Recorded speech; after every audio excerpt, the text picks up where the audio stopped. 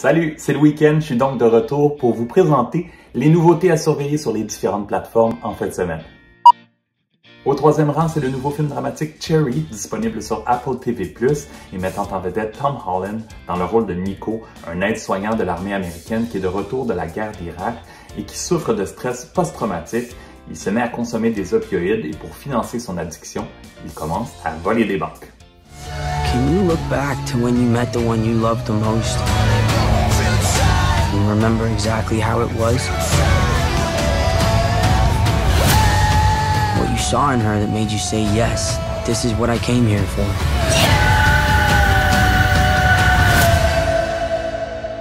Sometimes I feel like I've already seen everything that's gonna happen.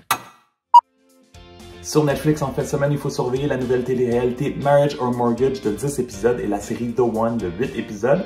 Mais au numéro 2, c'est Yes Day, le nouveau film Netflix, une comédie familiale mettant en vedette Jennifer Garner, où on suit un couple de parents qui disent oui à tout pendant 24 heures.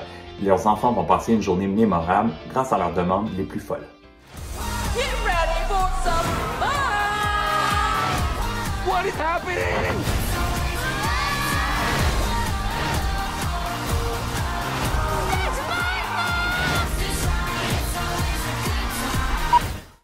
Le grand numéro 1 ce week-end, c'est la série dramatique Je voudrais qu'on m'efface, une série de 8 épisodes gratuits sur tout.tv, des courts épisodes d'environ 20 minutes qui mettent en vedette, entre autres, Julie Perrault et Jean-Nicolas Vérault.